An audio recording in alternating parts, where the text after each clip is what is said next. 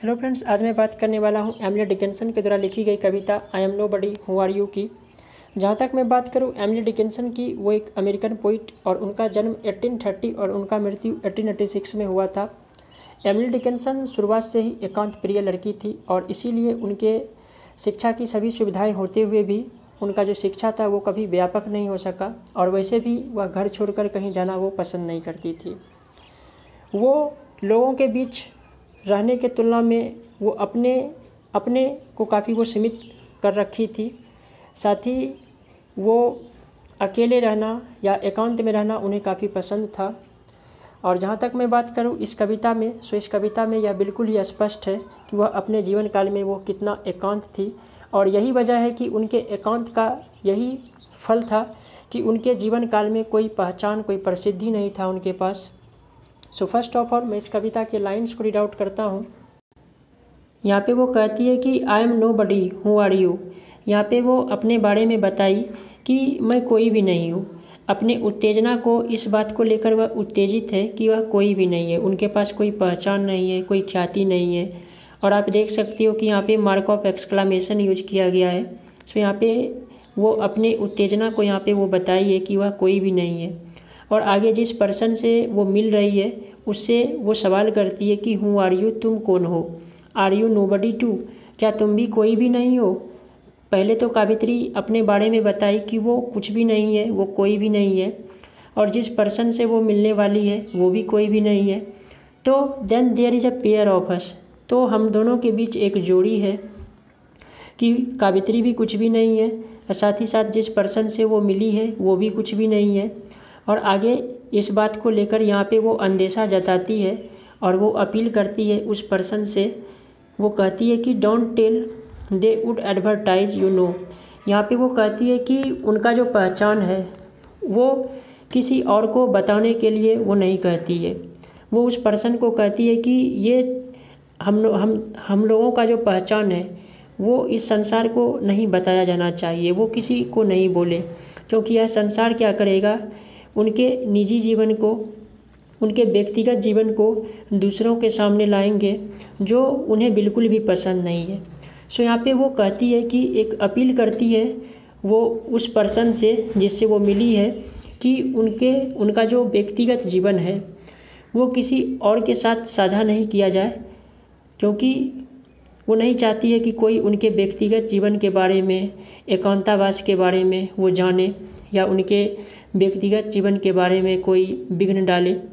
और आगे यहाँ पे वो लिख आ, वो लिखी है कि how dreary to be somebody यहाँ पे कुछ भी होना यहाँ पे जो समबडी लिखा गया है आप ऐसे समझ सकती हो कि समबडी इस सेंस में यहाँ पे वो बताइए कि वो पर्सन जिसके पास ख्याति है जिसके पास अपना कोई पहचान है।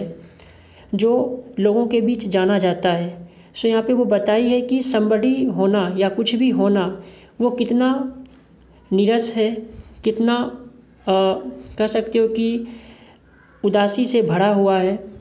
और आगे यहाँ पे वो बताती है कि how public like a frog यहाँ पे पब्लिक लाइफ का जो तुलना किया गया है, यहाँ पे जो पब्लिक लाइफ का तुलना किया गया है, वो फ्रॉग से की है।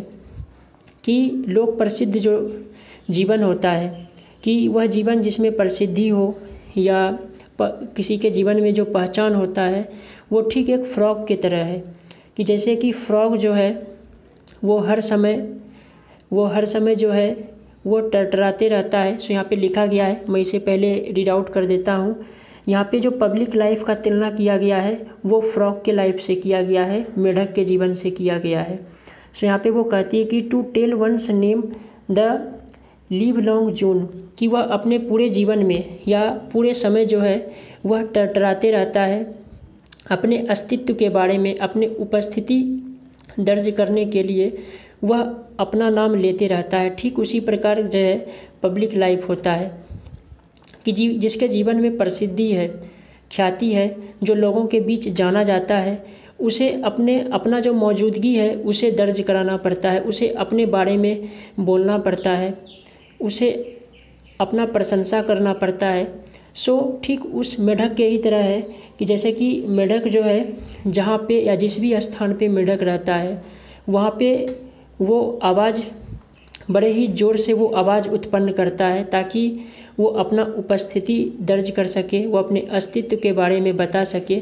हालाँकि उसके आवाज़ को कोई सुनने वाला नहीं है, कोई उसके प्रति ध्यान भी नहीं देने वाला है, फिर भी वह अपने उपस्थिति के बारे में या जिस ज़मीन पर, जिस दलदली ज़मीन पर, सो यहाँ पे मैं आगे पढ़ता हूँ, यहाँ पे लिखा गया है to an admiring bog bog के बारे में यदि मैं बताऊँ, बॉग वैसा स्थान होता है जहाँ पे मेढक या वो दलदली ज़मीन जहाँ पे मेढक आवाज़ उत्पन्न करता है टरटराता है और हालाँकि वह आवाज़ उत्पन्न करता है, लेकिन उसके आवाज़ को कोई सुनने वाला नहीं है। ठीक उसी प्रकार से या ऐसे भी समझा जा सकता है कि यहाँ पे जो एडमायरिंग बॉग लिखा गया है कि उन लोगों के बारे में बारे में यहाँ पे वो बताई है कि जो लोग किसी को किसी को प्रशंसा करते हैं उनको महत्वपूर्ण बताते हैं और उनको काफ़ी लोग सराहना करते हैं।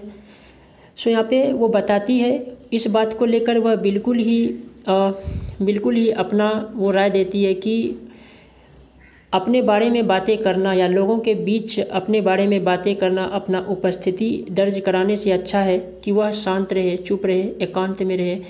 इस चीज़ को वो ज़्यादा पसंद करती है। सबसे पहले यहाँ पे पब्लिक लाइफ का जो तुलना किया गया है, फ्रॉग से किया गया है, फ्रॉग के लाइफ से किया गया है कि जिस तरह से फ्रॉग जो है, जो जल, दलदली ज़मीन होता है, वहाँ पर वो टटराते रहता है, आवाज़ उत्पन्न करता है ताकि वो अपना उपस्थिति जो है वो दर्ज कर सके। ठीक उसी प्रकार पब्लिक लाइफ होता है, जहाँ पे लोग अपने बारे में बात करते हैं, अपना वो प्रशंसा करते हैं, ताकि लोग उनके और जो है वो ध्यान दें, जो कावित्री बिल्कुल भी नहीं चाहती है। कावित्री नहीं चाहती है कि वह अपने बारे में वो बातें करे और लोग जो है वो लोगों के ध्यान को वो अपनी ओर वो खींचे। सो आई होप कि यह कविता आप लोगों को समझ में आई होगी। so thanks a lot.